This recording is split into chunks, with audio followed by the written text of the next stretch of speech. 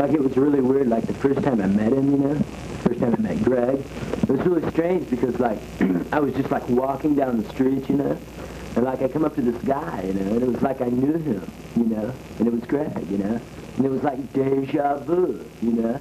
It was really strange. And so I walk up to him, you know, and I said like, don't I know you or what, you know? And he said, get the hell away from me, you know, like he was really ticked off about it. And you know what was weird? Oh, you know what was really weird? It was like one time we went out to the beach, you know, and like we went to, the, you know, we smoked a joint together. It was like really strange because like he really freaked out or something, you know, like I said the wrong thing or something, you know. I don't know what it was, but it was like really strange because like he put his hands, you know, around my throat, you know, like he was going to choke me. And he was choking me. And I said like, what are you doing, you know? And he said, I'm trying to kill you. And like I said, well, you know, why? And he said, because I hate your guts, you know. And it was like really weird. So I, you know, I just went into one thing. I said, well, could I ask you one question? You know, like, are you my friend or what? You know. And that's the last thing I remember. Interesting thing about Greg, and I, I noticed he was also a manic depressive psychopath, which creates an interesting and bizarre character. I mean, you have a manic depressive psychopath, paranoid schizophrenic. It's very, very unusual. He would come into my office and say, hello, Dr. Howell. And I would say, hello, Greg. And he would put up a wall, and that would be the end of it. He put up walls all around me.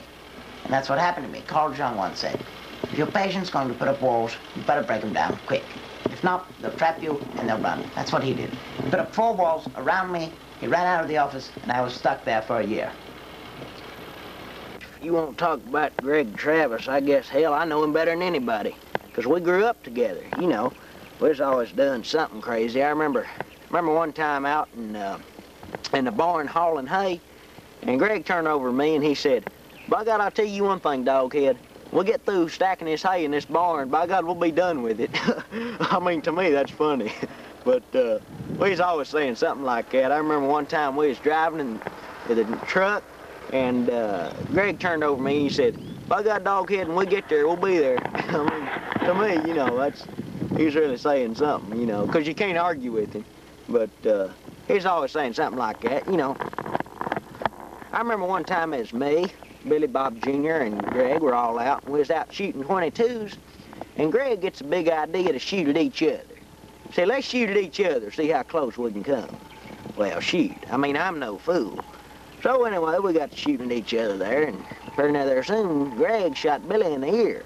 Shot his little piece of ear off there. Well, of course, Billy got mad, you know, and they nearly killed each other before that was over. But uh, I remember one time it was funny. We got, it, we was all out in the boys. It was me, Billy Bob Jr., Jamie Jr., Greg, and the whole bunch was out, and Junior Jr.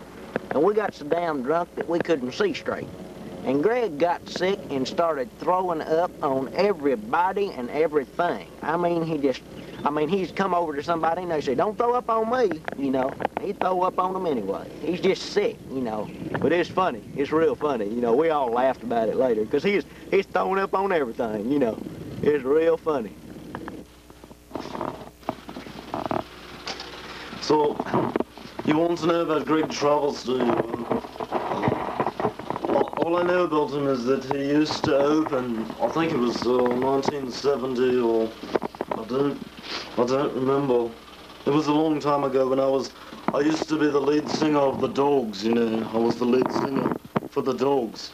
And uh, Greg Travis used to open as a comedian for the Dogs, you know. But it was very difficult. It was very difficult indeed to open for the dogs. As a matter of fact, it was difficult being the dogs, but it was very difficult opening because he used to come off, you know, and the people, the people didn't want the comedy, you know. They said, we don't want you, we want the dogs, you know, and they wanted, I was the lead singer for the dogs, you know. And the people just didn't want the comedy. He would, uh, he would go on and try to make them laugh, you know, but they never, they never laughed. They didn't, they didn't think it was funny. They didn't want that. So they wanted the dogs, you know. And he would come off stage and he would say, David, that's my name, David. He would say, David, they don't want me. I said, Greg, you know, I know, I know. He said, but I'm going to do it anyway. He said, I'm going to be funny. I'm going to do it. And he did, you know, he did it. He wanted to. He wanted to be a comedian, so he did. But uh, they never liked him, it was really strange. They wanted the dogs. The people said, we want the dogs, you know. We want the dogs. We don't want you. Get off. Get off. We don't want you. We want the dogs. But I'm going to tell you something about rock and roll today. Rock and roll today is, especially the punk rock. The punk rock is a bastardization of rock and roll. It's a bastardization. You don't, you don't need it. It's filth, it's trash, it's bastardization. And I don't want to talk to you anymore, so get out of my house. Yeah, like there was there was always this great power struggle between me and Greg. I don't know, it was really strange. It was like there was a lot of a lot of animosity, you know. I don't know, it was like it was like he had really bad vibes for the time that we were going together. It was really weird. He was really funny though. I always enjoyed his sense of humor. It was like was like his aura was always changing, you know? It was really weird. One thing about Greg is like, you never could read him. I mean, he was so, he was so different all the time. He was like really hard to understand. It was like, it was like the old saying, you know, you can look at a strawberry all day, but you don't know what it tastes like until you eat it. Well, that's the way Greg was. Well, of course, you know, Greg was a Leo.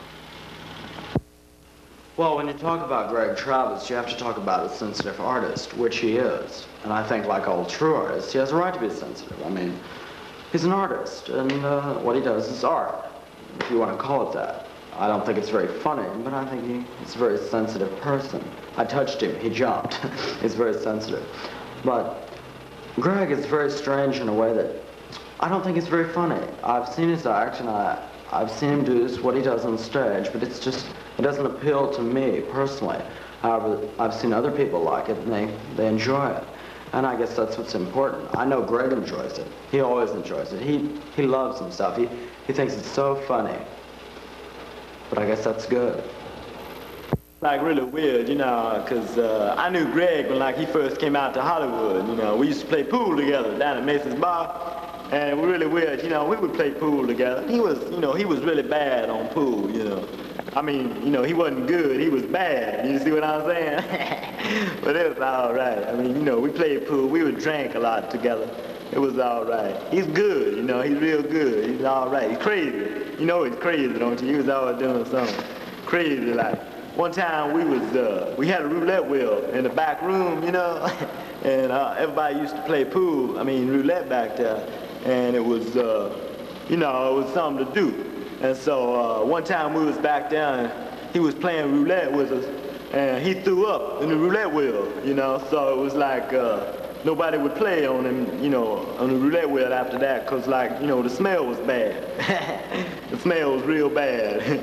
but he was, you know, it was all right. You know, I don't know what, you know, else to say about him. I didn't know him that well, you know. I did know him, though, you know. But, uh, not that good. You know, I knew him, but not that, you know, real well. But he was all right, yeah. Is that all like you want me to say? You know? and let's go smoke a joint, motherfucker. That's all right. Is that, what's happening? What you want me to do?